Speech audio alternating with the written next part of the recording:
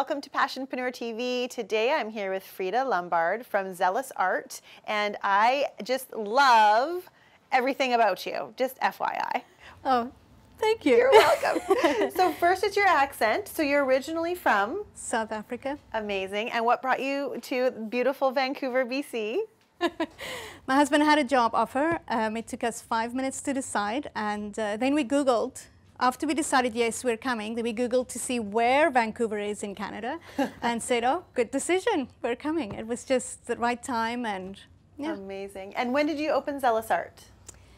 I've been doing the painting parties since 2011. My studio I opened up uh, November 2016. Cool. Yeah. So your studio is in Langley, BC, mm -hmm. and you can have workshops in there, painting parties. What yes. else takes place? Um, drop-in painting, so you can come in Wednesdays to Saturdays. Uh, you step in and you pick a canvas size.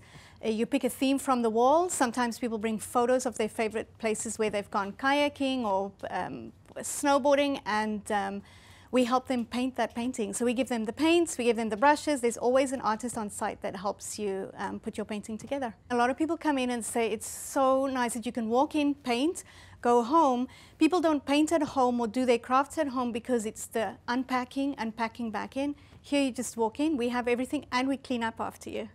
Perfect. done and done.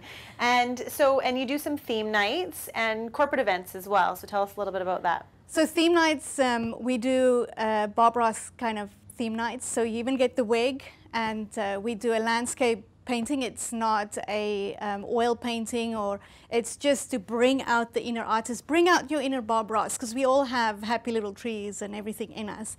And um, then I do the corporate events. We do team buildings, uh, client appreciation events, um, anything that you can get people together to have fun and bring out their inner artist. I love it. Perfect. And so what made you want to do this as a career?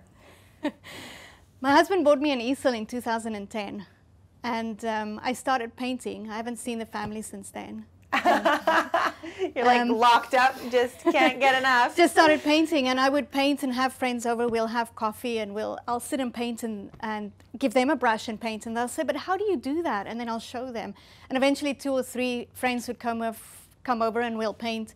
Um, Friday nights we'll turn up the music, play some um, loud music, uh, drink some wine, and um, just paint. Eventually, we choose a theme each night, each night and um, I would guide them, and that's how it started. No way. Yeah. I love the idea of groups of people coming together, painting, and pointing and laughing at each other and going, wow, I didn't know I got this, or people just seeing so much about each other. Because you have people in the room, um, doctors, um, people that sweep the streets, someone that cuts the trees, someone that's an accountant, and you have them all in the room and they're painting and their personalities come out. Oh. So um, I love how um, creatives, I'm going to put myself in that category, launch into a business because we love doing it so much. And then it's like, oh, and then all the other things that come on with like running a company, right? And you're like, yeah. don't love those things so much. And then you have to find the people that can help support you to just do the thing yes. that you love doing. And then hopefully they love doing that thing that they're supporting yeah. you with. So. When you when you get caught up in the bookkeeping and the the legal stuff and all these kind of things. Yeah. Sometimes I felt I was too busy with the admin and all that. And when I want to paint, I'm so focused on all the other things that I, it, um, I've heard of writer's block. I've had painting block. Oh yeah? I've had days where I can't paint because I'm so worried about the book. So I'm so worried. Right. Hire someone to do that. So now I have a bookkeeper. I've had someone who did a lot of admin for me, especially over the Christmas season when it's crazy, so that I can focus on the other things.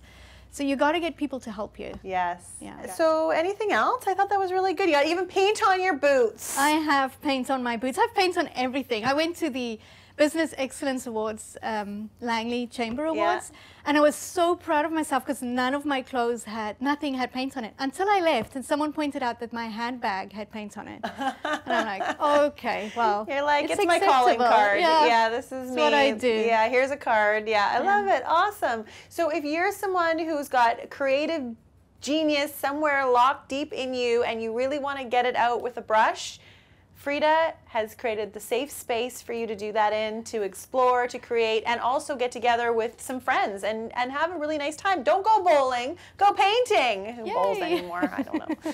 and if you are an entrepreneur and you are absolutely passionate for what you do, I would love to hear from you. Otherwise, I encourage you to follow in your own heart's desire. And I'm Adera, and I dare you to pick up a brush. It's like the Chelsea Handler show where the dog's just loud on set. That's just what it's like. So if you're hearing any pause, that's, that's her.